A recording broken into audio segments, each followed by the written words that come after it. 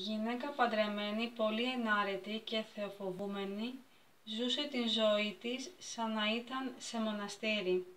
Δεν έλειπε ποτέ από την εκκλησία, έδινε ελεημοσύνη, ενίστευε και πολλές άλλες αρετές εκατόρθωνε. Συνεργεία όμως και ευθυνό του διαβόλου έπεσε σε ένα αμάρτημα η ταλέπορη και από ντροπή ποτέ δεν το εξομολογήθηκε. Πολλές φορές σκεπτόμε, σκεπτότανε να το πει του πνευματικού και πήγαινε στο εξομολογητήριο. Εκεί αφού ομολογούσε τα υπόλοιπα αμαρτήματα, ντρεπόταν να πει και αυτό και γύριζε άπρακτη στο σπίτι της. Επιστρέφοντας κάθε φορά, έπεφτε μπροστά στην εικόνα της Παναγίας και έκλαιγε απαρηγόρητα, παρακαλώντας την εσπλαγνία της να την συγχωρήσει το έγκλημα. Ήλθε ο καιρός και πέθανε η γυναίκα, χωρίς να εξομολογηθεί το αμάρτημα και περιμένοντας οι συγγενείς την θυγατέρα της να έρθεις από μακριά που ήταν σε άλλο μέρος, δεν την έθαψαν μέχρι την τρίτη ημέρα. Και τότε καθώς την κατέβασαν στον τάφο, «Ω των θαυμασίων σου, Κύριε», αναστήθηκε η νεκρή, κάθισε στον τάφο και είπε «Μεγάλη δύναμή σου, αϊμακάριστε, δέσποινα». Έπειτα είπε να φέρουν το πνευματικό και αφού εξομολογήθηκε το κρυμμένο της αμάρτημα, είπε για να ακούσουν όλοι «Εγώ η ταλέπορη και επιπόλαια, από ντροπή δεν εξομολογήθηκα μία αμαρτία, όπου έκανα για την οποία έκλεγα κάθε μέρα και με ταπείνωση πολύ οικέτευα την αϊπάρθενον δε Θεοτόκον να κάμει έλεος σε μένα και να μην με κολλάσει ο Υιός της, γι' αυτό μου το αμάρτημα. Αμέσως όμως μόλις ξεψύχησα, με άρπαξαν οι δαίμονες σαν άγριοι λύκοι, τροπιάζοντάς με για την κρυφή αμαρτία μου, για την οποία χαιρόταν νομίζοντας ότι με κυρίευσαν.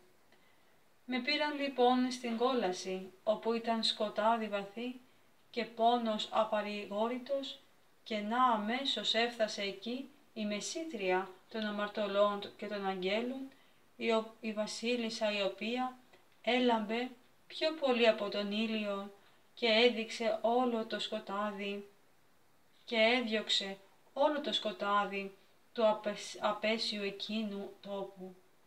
Ελέγχοντας τους βρωμερούς δαίμονας, πώς με πήραν χωρίς να τους δώσει τέτοια εξουσία, ο Κύριος και αφού με πήρε, από τα χέρια τους είπε «Ας την πάμε στο δίκαιο κριτή και ό,τι ορίσει η εσπλαγνία του ας γίνει». Ύστερα σε μένα μη φοβάσαι κόρη μου, εγώ τώρα είμαι βοηθός σου.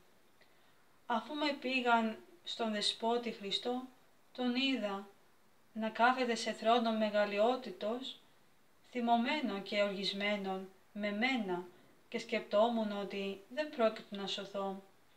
Η δε πολύμνητη η δέσποινα με πολύ ταπείνωση του είπε «Παρακαλώ κετεύω την αγαθότητά σου, υπερέσπλαχνέ μου η έκαιη Θεέ, για τα σπλάχνα των εκτιρμών σου και για το άχραντο και πολύτιμο αίμα που έκυσες για τους αμαρτωλούς, συγχώρεσέ την αθλία ψυχή αυτής, που γνωρίζεις πόση ευλάβεια είχε σε μένα και πόσα δάκρυα έχει μπροστά στην εικόνα μου για την αμαρτία της.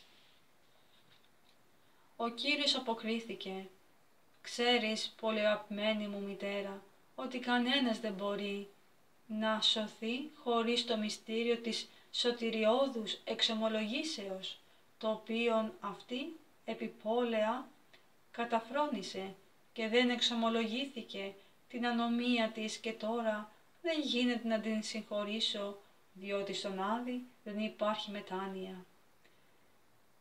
Ή δε είπες σε αυτόν, αλήθεια ιέ μου γλυκύτατε, κανένας δεν μπορεί να σωθεί χωρίς την εξομολόγηση, αλλά εσύ είσαι ο δεσπότης της ζωής και του θανάτου και όλα μπορείς να τα κάνεις.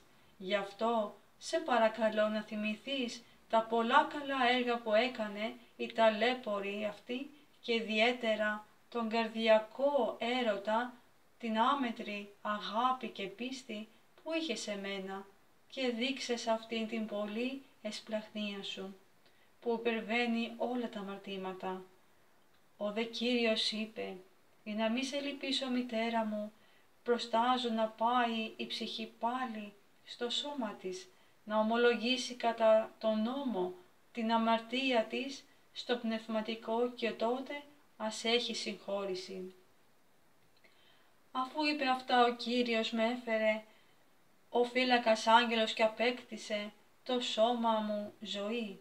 Όπως βλέπετε και τώρα πάλι θα πεθάνω σε λίγη ώρα. Γι' αυτό σας παρακαλώ όλους τους συγγενείς, φίλους και σε μένα αγαπημένη μου θυγατέρα και σε σένα αγαπημένη μου θυγατέρα αφήστε τα κλάματα ότι με αυτά καμία ωφέλεια δεν μου δίνεται μόνο λειτουργίες όσες μπορείτε και ελεημοσύνες κάνετε για μένα. Να φυλάτε τον νόμο του Θεού στην ζωή σας και να εξομολογήσετε όλα τα αμαρτήματά σας με κάθε λεπτομέρεια. Και αφού είπε αυτά, αναπαύθηκε εν Κυρίω.